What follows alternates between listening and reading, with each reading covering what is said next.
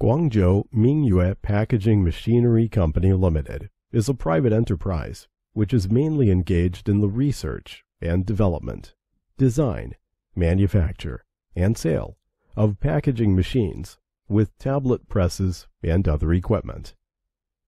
The management motto of our company is Develop through quality, strive for survival through quality.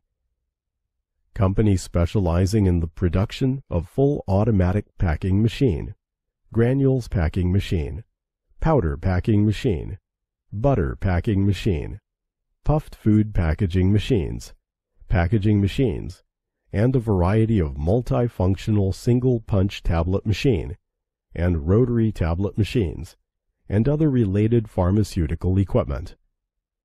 Scope of business involves food, pharmaceutical, chemical, pesticide, hardware, toys, and other industries. Supporting strong can be adapted to the needs of different users. The packaging machines professionally produced by our company are widely applicable to the bag filling packing for powder, particle, liquid, unusual shaped materials, and small hardware and plastics. The scope of our business involves in the industries such as